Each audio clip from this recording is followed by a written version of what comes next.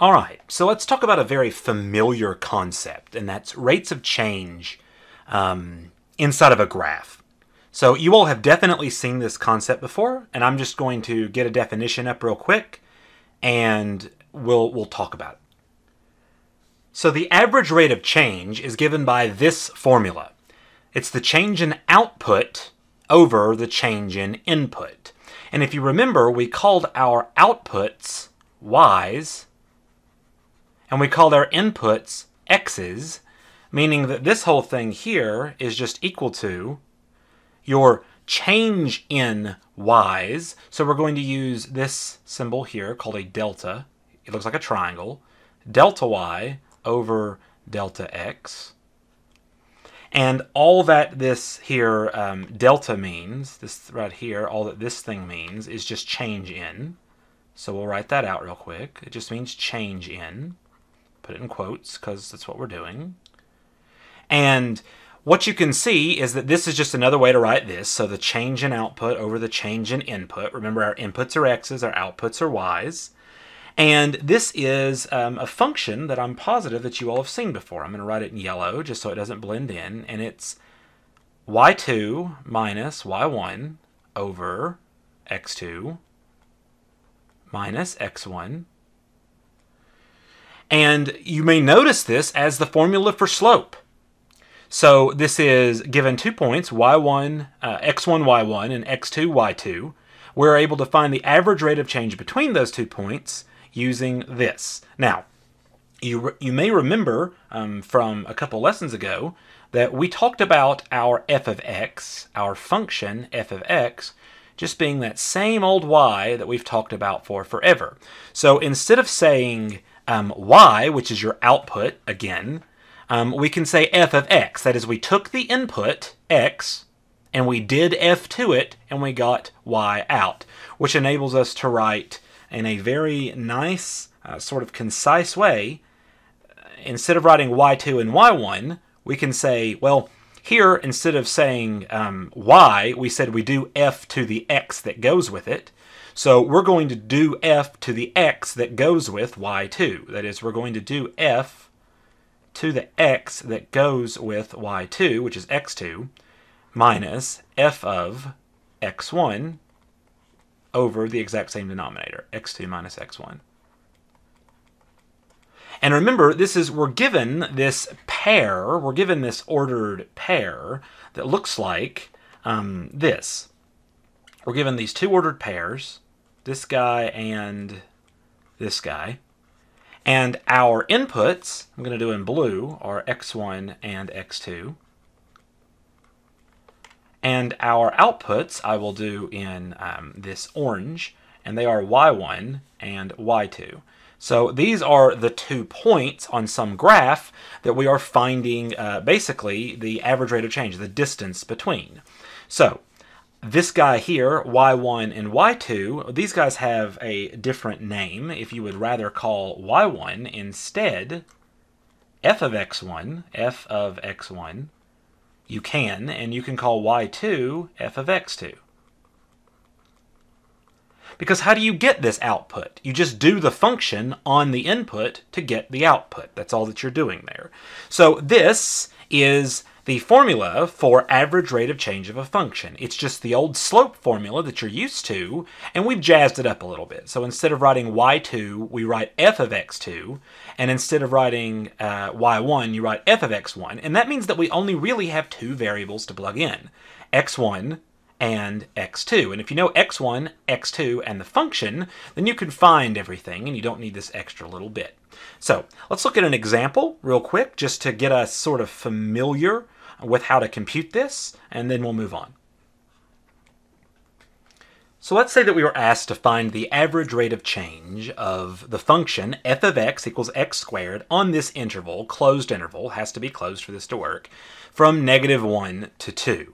So let's draw the entire, uh, let's draw the picture here of, of what we're trying to find exactly. So let's draw your x and your y here, and then let's go actually sort of graph um, let's graph this function. So x squared just looks like a parabola, which we're just going to do like this. Um, and then it opens like a bowl, roughly like this. This is a rough sketch. And then we just need negative 1 and 2. Now, these are both inputs. The interval, remember, is just the x-axis. It was just your number line. The number line is your x-axis. So I need to go find negative 1 and 2. We'll do that in orange.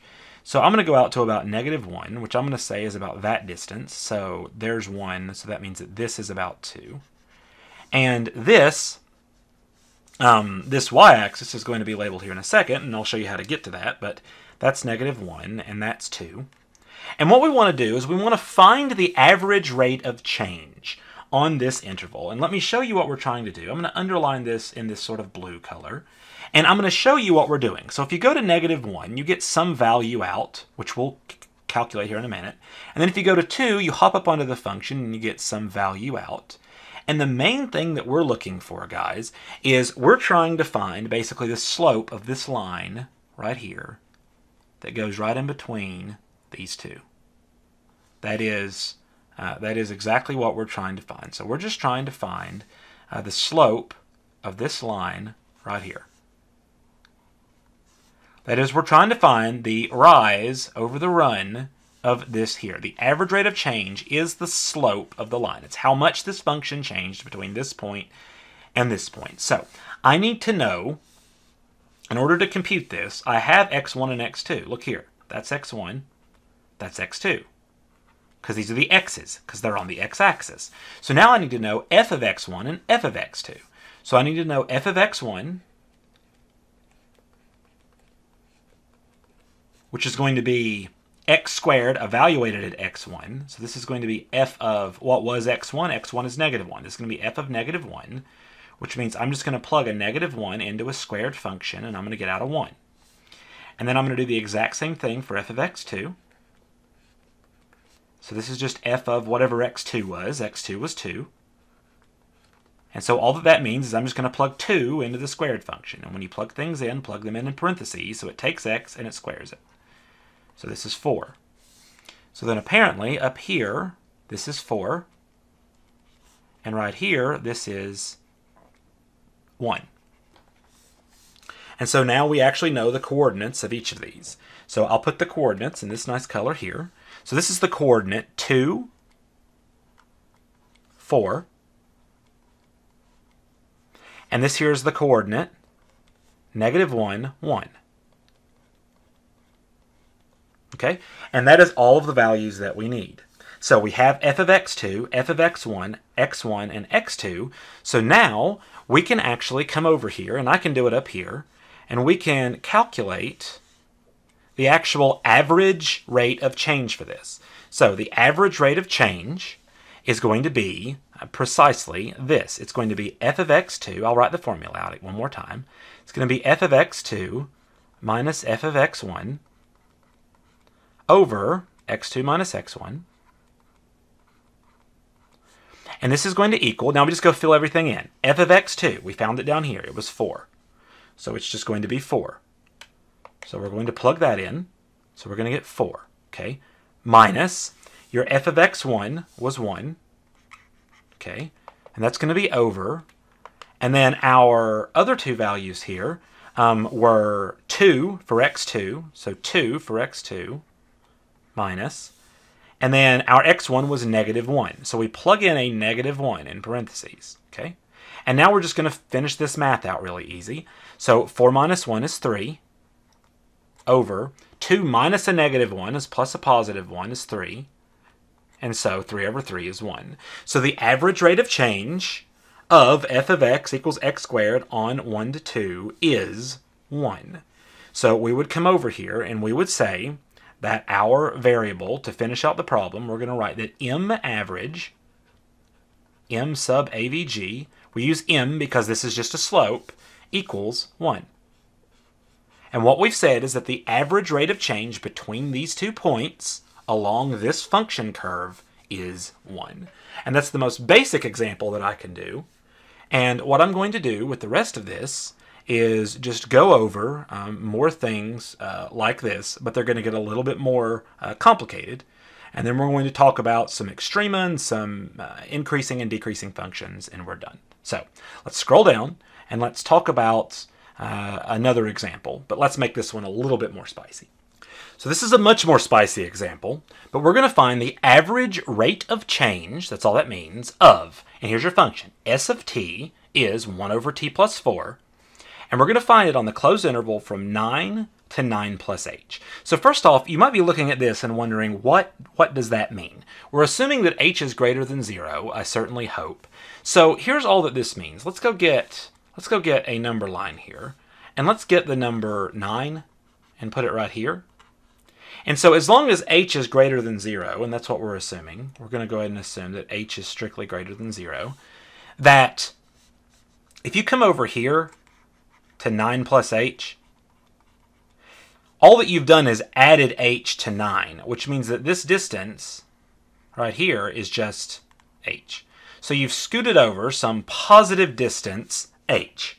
So you can actually, once we've found uh, the answer to this, which isn't going to be a number, it's going to be a number in term, it's going to be a function in terms of h. You can plug in any h you want to, and that gives you any distance you feel like, and you can find the average rate of change for that. So that's useful.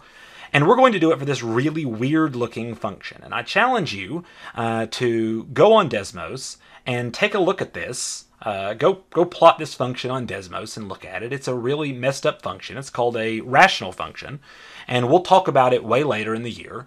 Um, but for now, we're just going to find the average rate of change, and then I'm going to show you guys a picture on Desmos of what exactly it is that we did. So let's start by just setting this thing up, and we're going to say that the average, um, your average rate of change, MAVG, is equal to, and then we're just going to write this. Now, it's not going to be F of x2 and f of x1 because our function is um, s. So it's going to be s, all right, of t2 minus s of t1 over t2 minus t1. So if you look back at your definition, and I encourage you to look down at your paper and look at your definition, it originally had f of x2, f of x1. But now our function is s, so our, our s's are our functions instead of f's, and our inputs are t's. So instead of x's, like we had last time, we have t's. Other than that, nothing changes. So this is your formula, and so we're just going to plug everything in and do what is going to turn into some absolutely hellacious algebra. But that's all that it is, is just hellacious algebra. So let's plug everything in. So we know for a fact that the bottom is going to be T2 minus T1. So we're going to plug in everything here. So T2 was 9 plus H, so we're going to plug that in.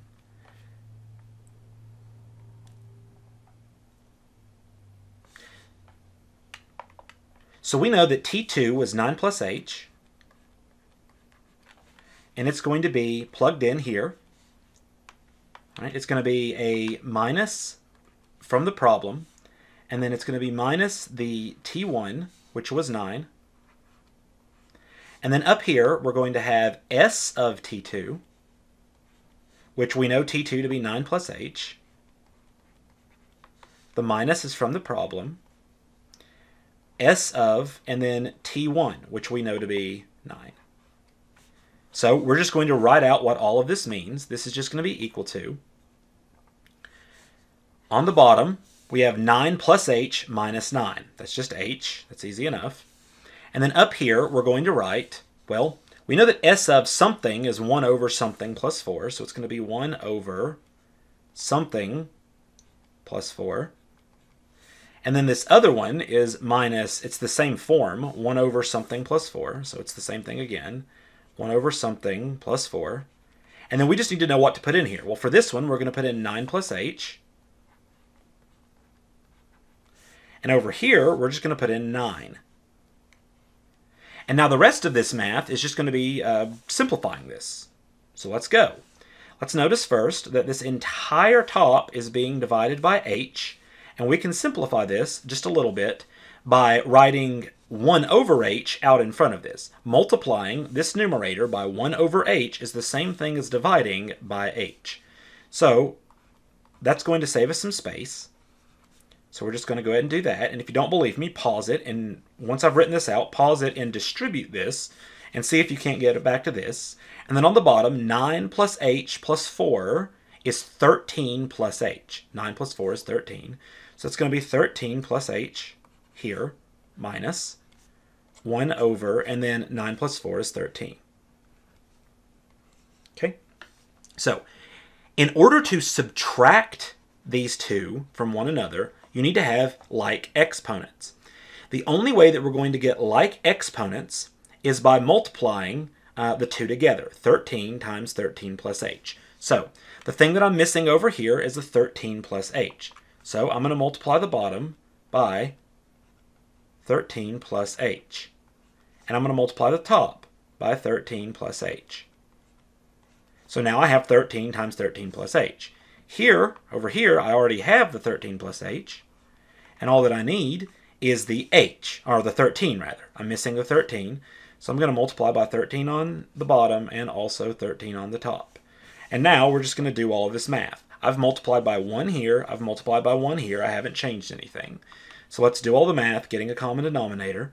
So this is going to be 1 over h times 13 over, and I don't want to multiply these together yet. I'm just going to write the 13 first. 13 times 13 plus h minus, and then it, on the top here, 1 times 13 plus h is 13 plus h,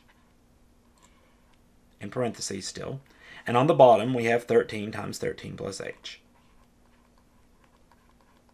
Okay, so this should be looking like some rather hellacious math. We're just going to scroll down here, and we're just going to keep working on this. So now we have the same denominator, 13 times 13 plus h. So we can go ahead and put the top together. So we're going to write this as 1 over h times, and then the common denominator was 13 times 13 plus h. So let's write that down. 13 times 13 plus h. And yeah, we could go ahead and distribute this if you wanted to and get uh, 13h plus 169 or 169 plus 13h, whichever order you want to. We'll do that in a minute. We don't need to yet.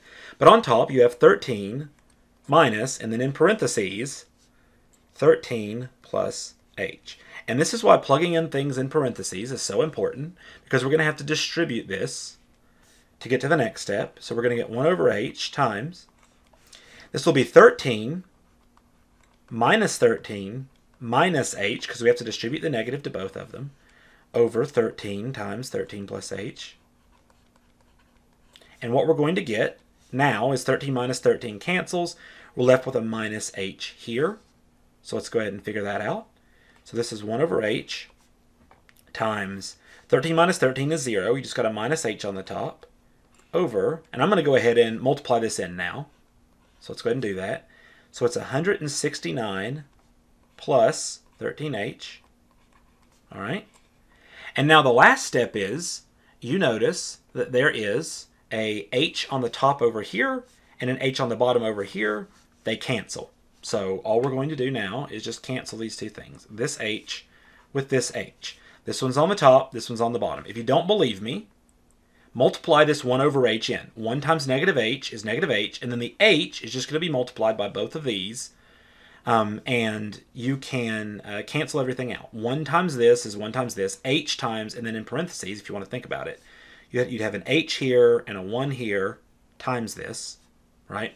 So the 1 times that just gives you the negative h, and then those h's will cancel. That's all the math that you're doing, which is what we're saying when we say that this and this cancel with one another, giving you that uh, it's just one on the outside, so we don't have to write it anymore. These parentheses are no longer doing anything. There's a negative 1 left on the top over, and then I'm going to rewrite these in a different order. 13h plus 169. And that I'm aware of, there's no way to get this any more simplified. So this is your answer. So this is the average rate of change, the average rate of change of s of t equals 1 over t plus 4 on this interval. So you give me some positive distance h, and all you've got to do is go plug it into this, and it'll give you the average rate of change between the two. So if you imagine I gave you a large batch of problems where you were always finding it between 9 and some number greater than 9, all you would have to do is figure out what the h was and plug it into this 30 times instead of doing 30 of these problems. That's just being pragmatic. This is just some hellacious algebra, is all that it is. But you need to be able to do stuff like this because this is just using this formula. So if you can use this formula, you're good to go. Lucky for you, there's plenty of practice on Khan Academy and Delta Math for you. So your book here does a fantastic job at going through this, so I thought I would just look at this. So look here. We have the function f of x equals x cubed minus 12x, and we have the intervals in which it's e increasing and the intervals in which it's decreasing. So read it from left to right like a book, and you can see that the function is clearly increasing from negative infinity all the way over here, it's just way down lower, all the way up to negative 2 then it's also increasing from positive 2 on to infinity. You can see that it's decreasing between negative 2 and positive 2. So here's how you, here's how you write that. The function, we can say the function f of x equals x cubed minus 12x is increasing on negative infinity to 2 union 2 to infinity so that is, on those two intervals pasted together from negative infinity to 2, so from negative infinity up here to 2, and then from 2 on to infinity, it's increasing. And then it's decreasing between these two points, between, um, between negative 2 and 2. So between negative 2 and 2, it is decreasing. And so this is how you would tell me that. So all that we're saying is that we are increasing from negative infinity to this point, 2, negative 2, and then from 2 onward to infinity, we're increasing. So you paste them together using this language right here. And then they are decreasing from negative 2 to 2. De decreasing as in the y values are getting smaller, more negative. Increasing as in the y values or the outputs or the range or the f of whatever the function is, is getting bigger. That's what increasing means. That's all that we're talking about. So the next thing that we want to talk about is local maximums, local minimums, and local extrema in general. So if you look in this area, this has a local maximum at negative 2. The local maximum at negative 2 is 16. That is, in this area, in this area, the biggest that it gets, the biggest that it gets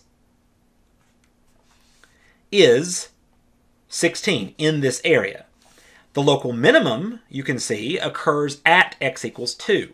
So the minimums occur at x values. The local minimum is negative 16. It occurs at 2. It is negative 16. That's the local minimum. The local maximum occurs at negative 2, x equals negative 2, and is positive 16. That's the local maximum. There's a difference between a local maximum and a global maximum. The global maximum for this function is the largest value it ever attains, not just the largest value it, it attains um, between these points here. So this is a local maximum uh, specifically because it, within this open interval, within, say, some open interval from, let's say, um, negative, uh, 4 to um, 4, the biggest that it gets is uh, 16, and the smallest that it gets is negative 16. That's inside of some interval. So you, you chop off some part of this, and we say, well, only from here to here, what's the biggest it gets, what's the smallest it gets. If you want to talk about a global, though, like the whole thing, the absolute maximum, the absolute minimum, uh, you can pause the video for a second and think about it. And you should come to the realization that the largest this function ever gets, not just in this little window that we're looking at, but on the whole thing, is positive infinities, the biggest it ever gets, and negative infinities, the smallest it ever gets.